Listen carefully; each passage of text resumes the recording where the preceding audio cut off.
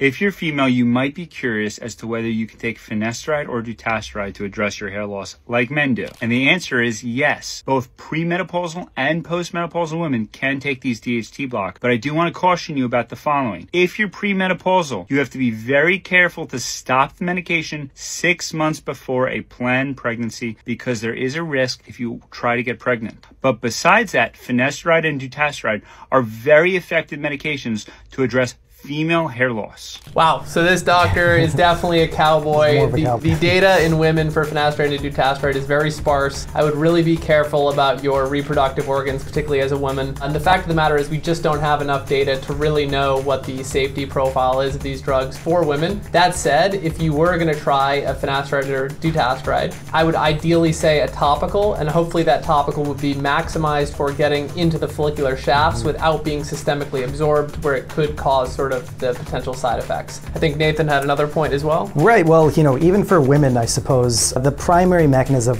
of, of hair loss is not really androgen related. For some women, obviously it is, and that's you know those are horrible cases. But generally, women who experience hair loss have uh, a lack of sufficient stimulation, and so a dutasteride probably won't help so much in that regard. Finasteride neither. Finasteride won't either. Yeah.